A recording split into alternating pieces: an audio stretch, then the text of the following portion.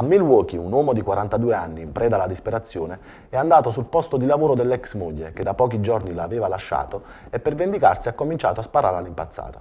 Poi nel raptus della follia, Radcliffe Houghton, questo è il nome dell'assassino, si è puntato la pistola alla testa e l'ha fatta finita. Il bilancio finale sarà di tre morti, oltre il killer, e quattro feriti. In tutta la zona sono subito arrivati FBI e polizia, che sono stati impegnati in una serrata caccia all'uomo. Diverse ore dopo il massacro, la notizia che il 42enne americano era stato trovato senza vita nel luogo della sparatoria. Buongiorno e bentrovati con l'informazione di Unica Channel. Oltre 2000 persone hanno preso parte alla fiaccolata indetta dai 20 parroci della periferia nord di Napoli in ricordo di Pasquale Romano, il giovane ucciso dalla Camorra per un errore lo scorso 15 ottobre. Al corteo si è unito anche il cardinale Sepe.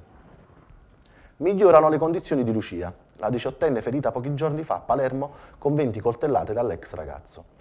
La ragazza ancora non sa che la sorella Carmela nel tentativo di difenderla non ce l'ha fatta.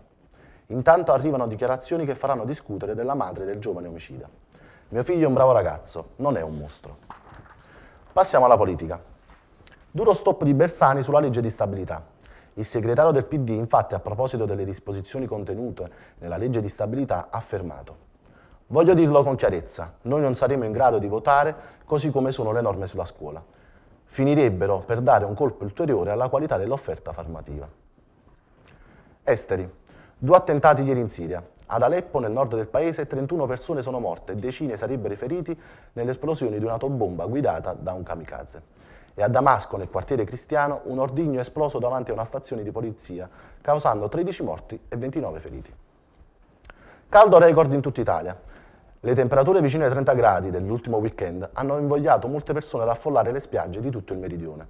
Da Roma in giù, nonostante gli stabilimenti balneari siano ormai chiusi, la gente ha approfittato per concedersi probabilmente una delle ultime tintarelle.